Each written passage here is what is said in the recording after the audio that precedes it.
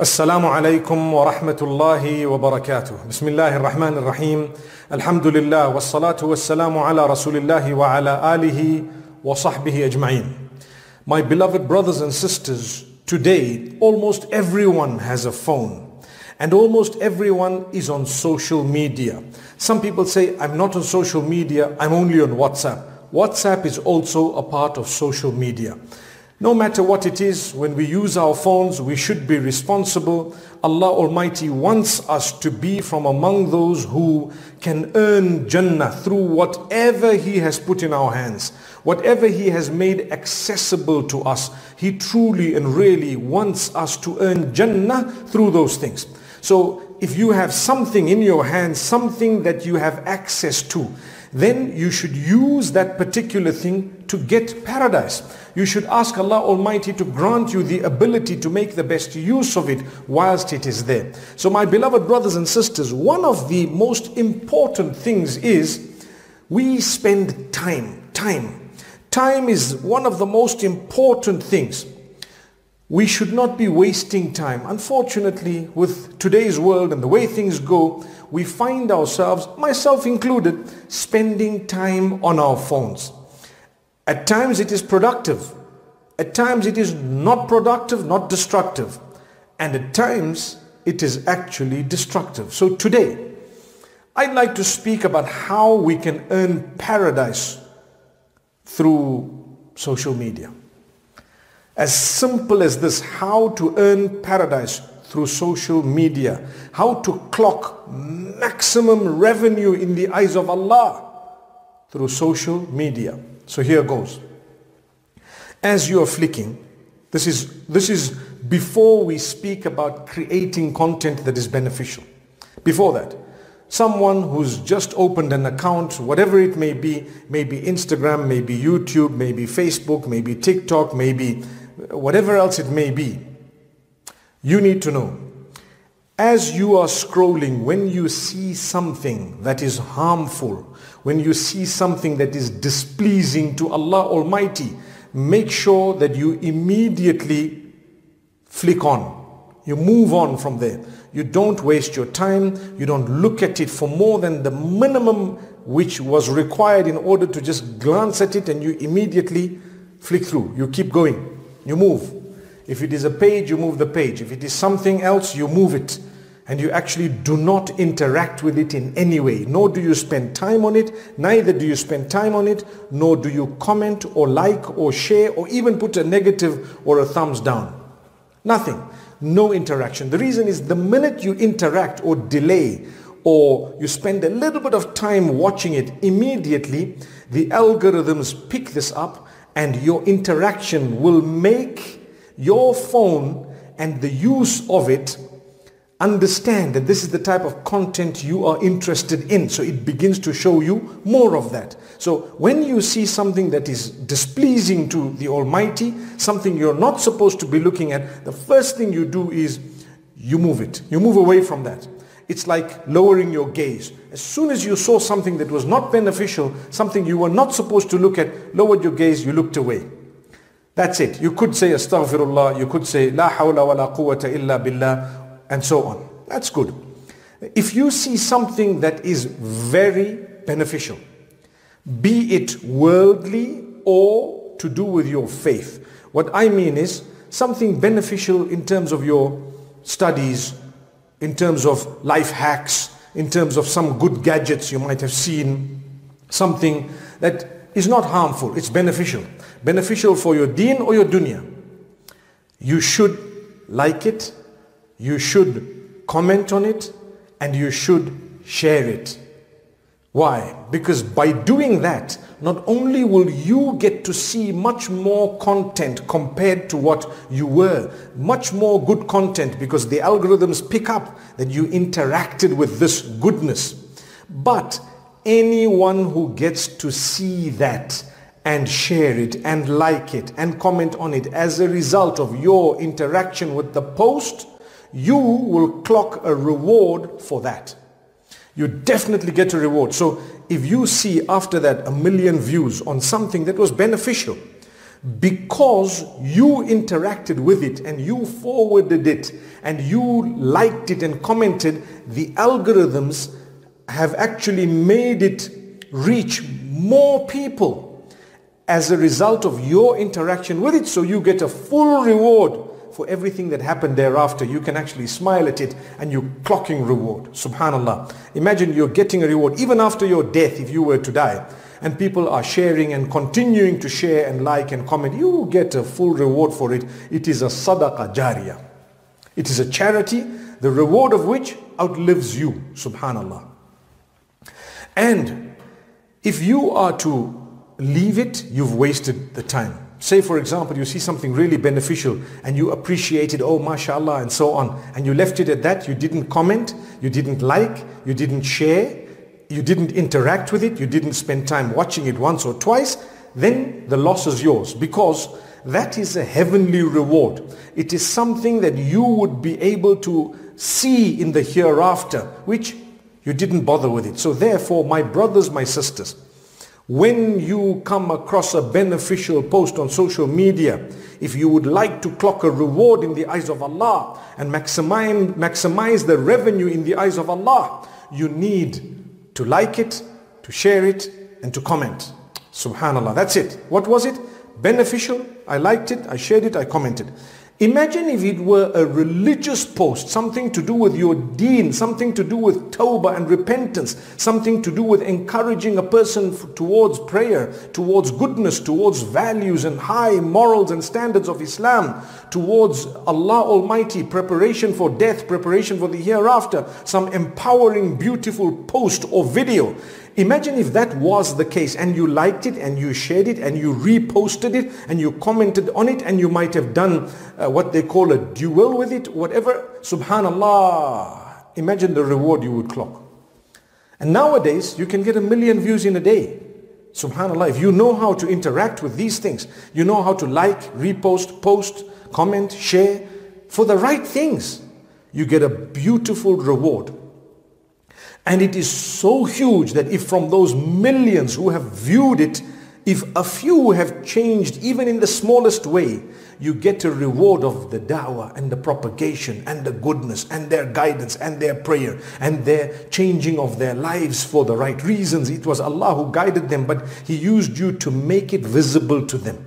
Subhanallah. How? By interacting. So it's to do with the algorithms, the way it works. If you interact, the greater the interaction, the greater the reach.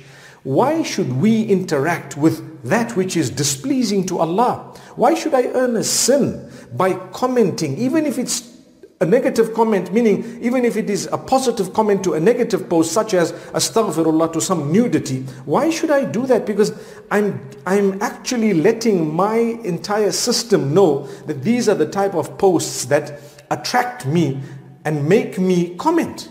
So it keeps on showing me more of those posts and I'm wondering, this is so bad. I, for example, have a TikTok account, for example, very little on it, but it helps me when I am flicking through at times. You learn a lot of goodness. It's good to comment, to like, to say, to share. It's very good because it makes that more popular. And the, the suggestions that come to you are based on so many factors. Your location, your likes, your dislikes, your comments no, and, and, and, or no comments, your shares uh, or lack of shares, your interactions with the post, how much time you spent watching it and so on. All of these factors are taken into consideration automatically in the background. Why should you earn a sin? For what? Why should you post or interact with something displeasing to Allah? Do not do it. So even if you just want to say astaghfirullah, my sister, or astaghfirullah, my brother, leave it. You rather say the astaghfirullah, but don't say anything. And if you want to, if you want to, a person you know you want to give them good guidance, you may want to make your own post and maybe you might want to tag them or you might want to uh, comment if you really know them once in a while. It's okay if you think it's going to be beneficial. But Remember the interactions that you have with your social media will make you or break you. And therefore, even on Instagram or Facebook, the minimum you can do, the minimum you can do to a good post is to like it, to comment and to share. When you've done that, you have actually now revolutionized everything and made it worthwhile for your hereafter. More people will see it as a result of your little action. I didn't waste my time on social media. I kept sharing good posts for one whole hour. I'm not saying do this, but I'm saying, I'm, I'm not saying spend so much time on it, but I'm saying if you are spending that much time on it, make sure that you're doing the right thing. You're interacting with the good posts for one whole hour. Only Allah knows while you are asleep before the morning how many millions would have seen it. How many, for example, tens of thousands would have benefited. How many hundreds would have changed their lives as a result of this. You were just asleep. Before I slept, I was on TikTok for half an hour. I liked, I shared, and I commented only on the really brilliant stuff. Be it Quran recital, be it a good reminder, be it a good nasheed, be it some encouraging words, be it some empowerment, whatever it was, goodness, I did it.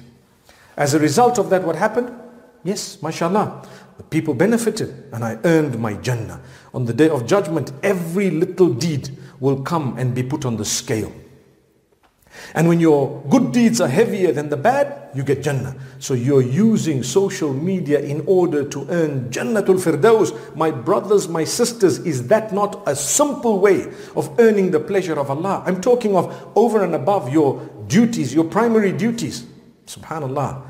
I'm not saying leave your salah and leave your zakah and leave your hajj and leave your fasting. No. We're talking about the way we use social media, I started off by saying we all have phones. We're all on social media, whether you like it or not. So why don't you convert your interactions into something that's going to take you to paradise? Why don't you convert your interactions into something that's going to be meaningful for you and everyone around you? Why don't you minimize your interactions with that which is harmful? But remember, don't ever let a good post pass without you liking, sharing, commenting, whatever maximum you can do, do it. If you can repost it and you have the permissions to do it or it's okay to do it on the platform you're using, please do it. Because you never know. You might post that once, twice, and one of them might just go viral. That might be your ticket to Jannah. So good news to those who are influencing in the right direction. Good news to those who are trying in the right way. And even if you cannot create content, like I said at the beginning, I'm going to get to creation of content. If you cannot create content and you've only done the likes and the comments and the shares, you might get a reward equivalent to the creator of the content. And when we're talking of creator of content, we're only talking of someone who made a video, basically, who made some form of content. We're not talking of creator of the universe. That's Allah. You know, sometimes the word creator and the word follower we know them as Muslims. The creator of everything is Allah and the one we follow is Nabi Muhammad But in the context of social media, it has a slightly different meaning. So we're not referring to the context which is the higher context. We're referring to the current modern day social media context. When you say these are my followers, you don't mean that I'm a Nabi, astaghfirullah. You don't mean that I'm a prophet or anything of that nature. What you mean is they're interested in what I do on social media. That's all. They may agree or disagree, disapprove. I know many people who don't like others, but they follow them just to know what's going on. Subhanallah. And the same way when you say content creator or creator of content, you're not talking of uh, the higher creator of everything. You're talking of making a video. Simple as that. It's the terminology that's used nowadays. But if you can and you have the means, make a video or two. Create some content. Do something. That may, may be Allah's way of using you to change the lives of millions of people and you would get a reward for it. So if you can make a video encouraging your circles, your friends, those who may get to know, those who may not get to know, uh, meaning directly but indirectly, you should do so by the will of Allah subhanahu wa ta'ala. Create something beneficial. Create something beautiful. When I say a video, you might want to take a video of nature and add to it something, a beautiful word or two. You might want to create something interesting for the people. Throw in a good word of morals and values and goodness and teachings and pillars of Islam and repentance and how to turn to Allah and how to accept the Shahada and what to do when you want to be, for example, uh, a Muslim or when you want to turn to Allah Almighty or speak about your own journey or the journeys of others and you will get Jannah Jannatul Firdaus. You'll get Jannah by the mercy of Allah. When He sees, when Allah knows that you are now helping people, reaching out to them, using whatever is at your disposal, whatever is at your disposal to actually encourage people to doing good, that's when Allah gives you Jannah. Subhanallah. So, My time is up. My 15 minutes are up. But what I'd like to say, my brothers, my sisters, is please make sure that you use your social media to earn paradise by liking, sharing and commenting on those posts that are beneficial in any way, shape or form. Don't lose out. These are investment opportunities. This is revenue that is collected and gathered with Allah in its millions, billions, trillions and quadrillions. And to be honest, if you do not do that, you are losing because we use social media anyway. So if I tell people stop using your phone, stop on social media, no one's going to stop. Nobody's going to. More and more people are going to get on there. So remember, when it comes to bad things, don't interact with the bad things. When it comes to things that are neither good nor bad, it's up to you. But when it comes to something that is good and beneficial, be it religiously or be it for in terms of uh, uh, dunya or worldly matters, please listen and listen to this piece of advice interact with it, spend time with it, like it, share it, comment on it, repost it, whatever you want to do.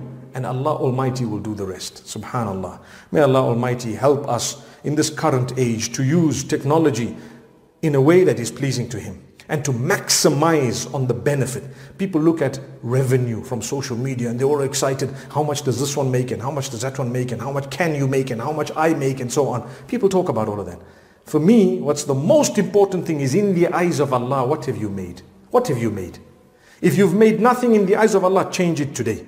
Today, you can subscribe to the AdSense of the higher level, if you know what I'm talking about, where between you and Allah, you're going to clock a maximum amount of reward by the will of Allah subhanahu wa ta'ala. So go for it. Learn that every time there is a good post, if you haven't created that content, you can just interact with it in the ways that I've shown you.